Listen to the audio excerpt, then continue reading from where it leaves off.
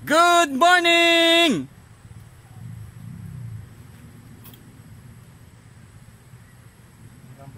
Nandito po ngayon ang inyong mga abang lingkod, ang Tito Vic and Joey ng Talbak sa isang parsela ng lupa na humigit kumulang ay 1,500 square meters. Ito pong lupa na to ay malapit sa ilog, malinis na ilog, papuntang Verdibia Falls. Maganda po ito, tayuan ng rest house.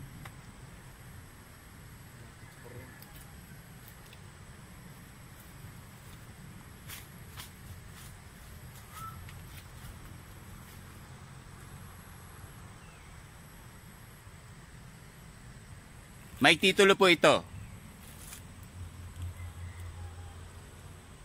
Nasa mother title pero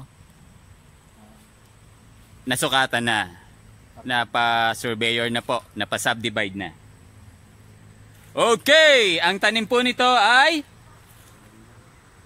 dalandan, nyog, rambutan, avocado, santol, talong, ube. Ito po, langka. Avocado pala.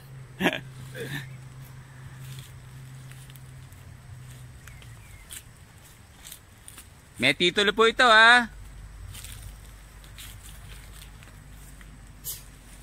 Kontakin niyo po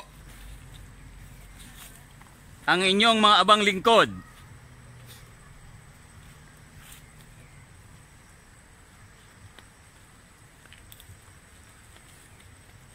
Para po sa farm lot na to. Ayan. May talong. Ito po santol. Napakalaking santol.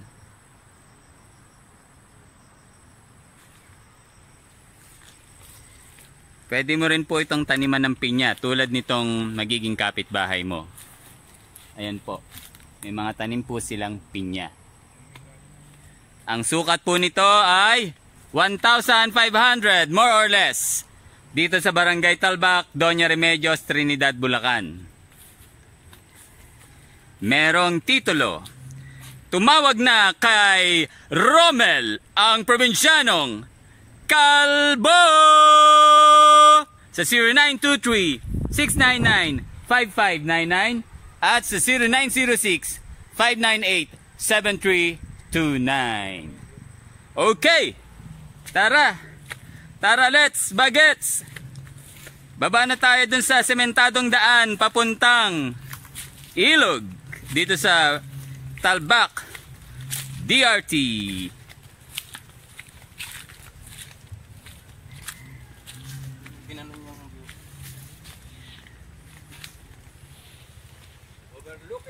Overlooking. Mas ma-appreciate nyo po ito pagka personal po kayong nagpunta dito, nagpa-tripping po sa amin. Kaya bilib na bilib po ako sa mga taga Dalbak. Mahilig po silang magtanim. At soon, magiging taga Talbak na rin po ang inyong abang lingkod. Ayun po oh.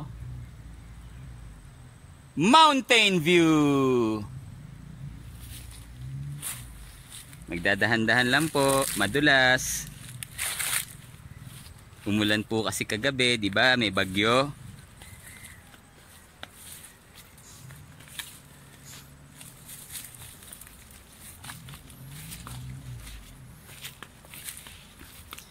Malapit lang po ito sa sementadong daan. Ang estimate ko po 80 meters. At ito pong nilalakaran namin na ito o nilalakaran ko na ito. Ito po ang right of way mo.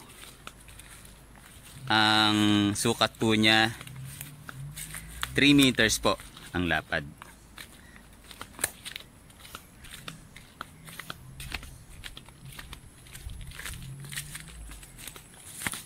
Kaya po, napakaganda.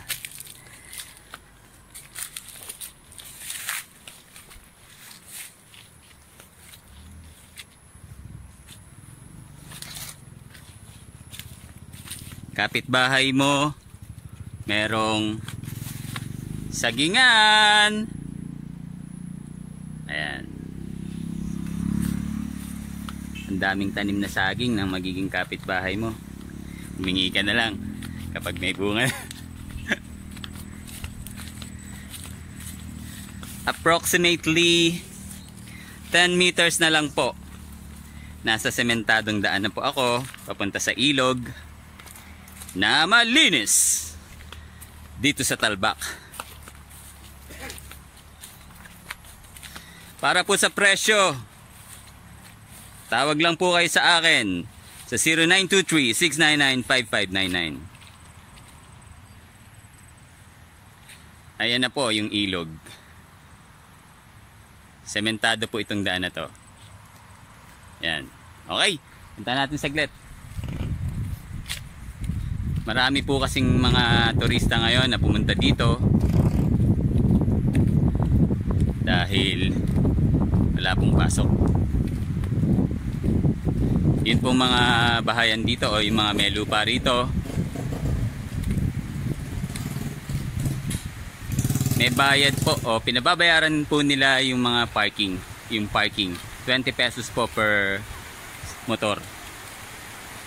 Tapos kapag sasakyan, kung di ako nagkakamali, yung 4 wheels po ay 50 pesos. Ito na po, yung ilog na malinis. Yan. Marami pong naliligo. Doon po kasi, papunta po yan ng Verdivia. Verdivia Falls. Okay. Okay na okay.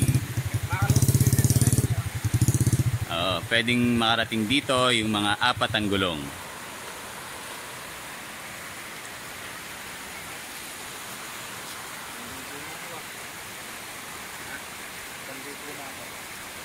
Paalam!